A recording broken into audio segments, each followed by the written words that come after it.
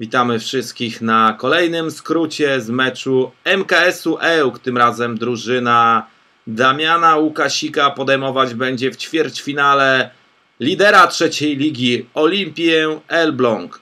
Pierwsza akcja zawodników przyjezdnych. Bardzo groźna sytuacja i niewiele zabrakło Kamilowi Kuczkowskiemu, aby pokonał Wojtka Muzyka. Kolejna akcja.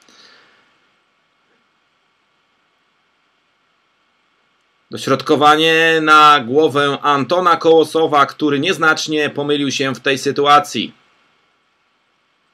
Bardzo groźna wrzutka, dorzutka w pole karne. Również zabrakło niewiele w tej sytuacji, aby drużyna gości wyszła na prowadzenie. Zobaczmy teraz. Obrońca Zelblonga zrezygnował z dojścia do tej piłki. Jakub Ciuńczyk powalczył o nią, dośrodkował na głowę Tomasza Tutasa. Niewiele zabrakło, aby Tomek wpisał się pierwszy na listę strzelców, ale zobaczmy teraz. Zalewski zbyt krótko wybija tę piłkę, do której dopada Anton Kołosow. Jest faulowany Anton w polu karnym przez Łukasza Sklarzewskiego. Do piłki z 11 metrów podchodzi sam poszkodowany Anton Kołosow. Wpisuje się na listę strzelców 0 do 1 Wełku.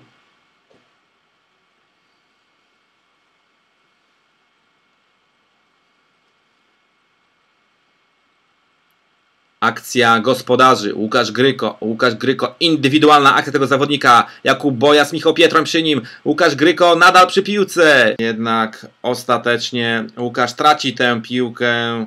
Jeszcze w tej sytuacji Łukasz naciągnął sobie mięsień dwugłowy. Kolejna akcja, tym razem w roli głównej Jakub Ciuńczyk, który efektownie chciał pokonać bramkarza Zelblonga strzałem z przewrotki. Ale zobaczmy teraz. Podanie prostopadłe Patryka Gątka do kapitana MKS-u EU Kamila Jackiewicza, który w tej sytuacji myli się nieznacznie.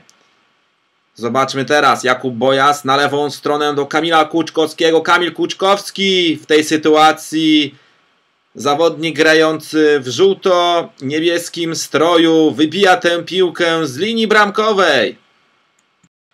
Teraz niefortunne zagranie Łukasza Gryko do Antona Kołosowa, który strzela drugą bramkę w dzisiejszym meczu. Zobaczmy w jaki sposób padła ta bramka.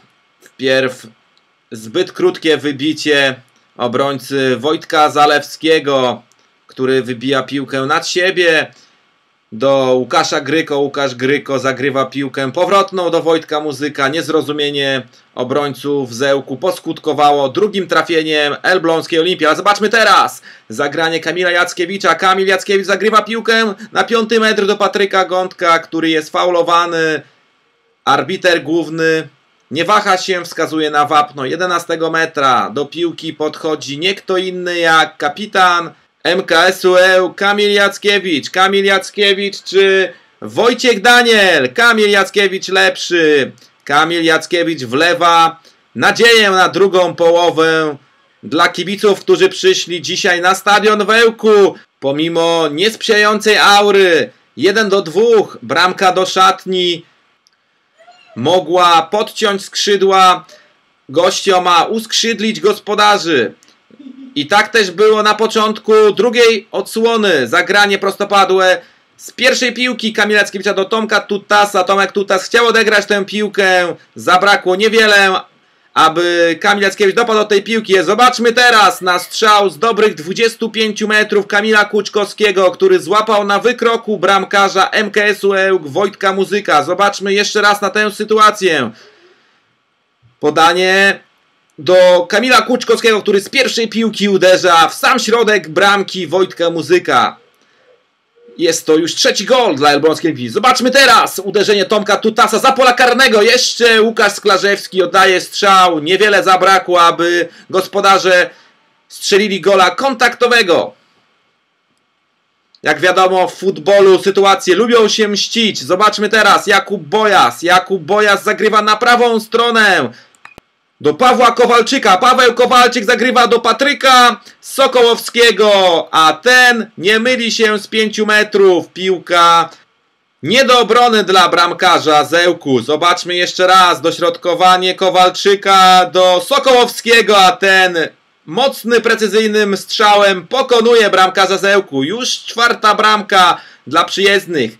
MKS starał się zmniejszyć tę przewagę. Strzał z rzutu wolnego Kamila Jackiewicza trafia w poprzeczkę bramki Wojtka Daniela. Patrzmy na brutalny faul kapitana Elbląskiej Olimpii Dawida Kubowicza, który został ukarany po raz drugi żółtym kartonem, co w rezultacie poskutkowało czerwoną kartką i półgodzinną przewagą gospodarzy. Patryk Gądek, Patryk Gądek zagrywa piłkę do Patryka Rosolińskiego. Jest druga bramka Wełku. Więcej goli Wełku już kibice nie oglądali. Wynik spotkania w dzisiejszym meczu 2 do 4. Drużyna Elbląskiej Olimpii w gronie półfinalistów Wojewódzkiego Pucharu Polski.